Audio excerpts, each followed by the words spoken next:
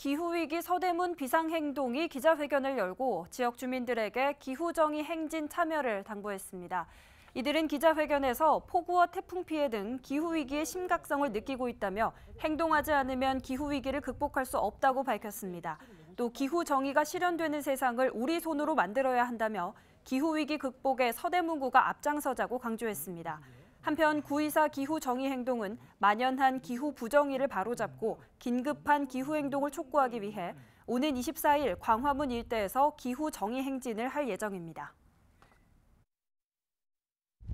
막대한 온실가스 배출 책임이 있는 기업에게 책임을 묻고 이를 방기하는 정부의 행태를 비판하기 위해 기후 정의 행진에 참가합니다.